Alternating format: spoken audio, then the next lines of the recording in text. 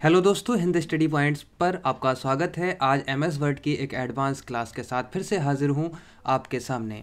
देखिए दोस्तों, आप लोगों ने एम एस वर्ड में पॉइंट्स लगाकर लिखना ज़रूर सीखा होगा और आपने इसका यूज़ भी ज़रूर किया होगा। मैं उम्मीद करता हूँ ये सब चीज़ें आपको आती होंगी, लेकिन आप चाहते हैं कि आपने देखा, यहाँ पर इस टाइप के पॉइंट्स आपने ज़रूर लगाए होंगे। जैसे यहाँ पर यहाँ ये हम लोग कैसे लगाते हैं, अगर आपको नहीं आता है, तब आप भी सीख लीजिए। आप चाहते हैं कि ऑटोमेटिक पॉइंट्स आएँ तो आप यहाँ पर देखिए ऑटोमेटिक पॉइंट्स आ रहे हैं हमारे। अब ये पॉइंट्स ऑटोमेटिक कैसे आते हैं, आपको लिखना है और होम पर क्लिक करना है और यहाँ पर बुलेट्स के ऑप्शन को इनेबल करना है। देखिए दोस्तों इनेबल हो गए हैं। अब यहाँ पर आप देख रहे हैं, इस टाइप के पॉइंट्स वगैरह आपने ज़रूर लगाए होंगे, इस टाइप के पॉइंट्स वगैरह ज़रूर लगाए होंगे, लेकिन आपने यहाँ पर स्माइली का यूज़ नहीं किया होगा।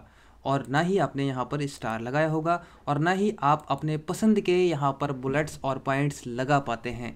तो अगर आप भी चाहते हैं कि आप अपने पसंदीदा बुलेट्स का और अपने पॉइंट्स का कैसे यूज़ करें तो बने रहिए इस वीडियो में। अब आप चलते हैं वीडियो की तरफ़। देखिए दोस्तों, यहाँ पर हमने स्माइली का यूज़ कर रखा है। तो ये स्माइली यहाँ पर हमने कैसे ऐड की है? सिंबल्स के साथ। तो दोस्तों, अब आपको हम लिए चलते हैं इसके क्लास की तरफ़। तो यहाँ पर आप जैसे ही इस पॉइंट पर क्लिक करेंगे, यहाँ पर आपको मिलेगा डिफाइन न्यू बुलेट्स इस पर क्लिक करना है आपको और यहाँ पर आपको सिंबल्स पर क्लिक करना होगा। अब आप जैसे ही सिंबल पर क्लिक करेंगे, तब आपके सामने इतने सारे सिंबल्स आ जाएँगे। यहाँ पर आपको ये एक बात ध्यान रखना है, यहाँ पर बिंडिंग्स का ऑप्शन आपको इनेबल रखना होगा। बिंडिंग्स जैसे ही इनेबल रखेंगे, तब आपके सामने यहाँ पर नए नए तरीके के आइकन्स आ जाएँगे।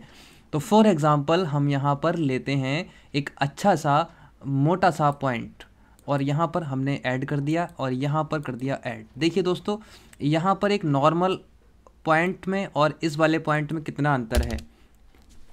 जो आप लोग लगाते हैं, वो नॉर्मल बारी थोड़ा सा पतला और स्मॉल बुलेट होता है, लेकिन यहाँ पर हमने बिग साइज़ में बुलेट लगाया है।